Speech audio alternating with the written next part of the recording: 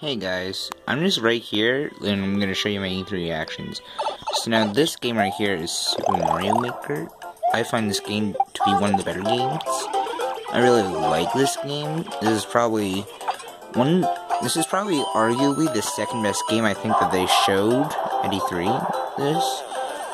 I'm not 100% thrilled with what they did for 3DS, but I'm satisfied with what they did for 3DS. But I really like the titles that they showed off for Wii U. So yeah, that's about it.